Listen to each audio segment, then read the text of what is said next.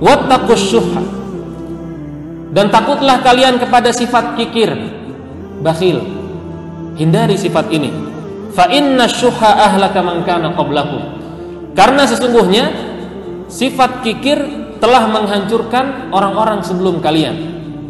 Kita lihat apa dampak sifat kikir ini. Rasulullah Shallallahu Alaihi Wasallam menerangkan hamalahum ala an safaku dima'ahum.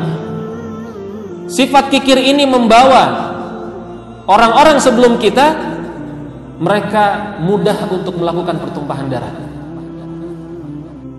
Karena apa? Karena sifat kikir. Kita lihat sekarang ketika satu orang kaya raya sangat kikir, tidak pernah membagi-bagikan infak dan sedekahnya kepada lingkungan sekitar misalkan. Padahal ini sebuah kewajiban yang harus dia tunaikan. Dan ini merupakan perintah Allah Subhanahu wa taala. Maka bisa jadi pencurian, perampokan, begal di mana-mana. Ini karena apa? Karena orang-orang kaya malas untuk mengeluarkan harta mereka. Padahal cuma dua setengah persen. Wastahallu maharimahum.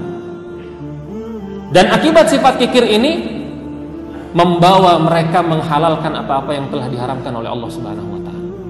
Karena satu saja, karena sifat sifat kikir.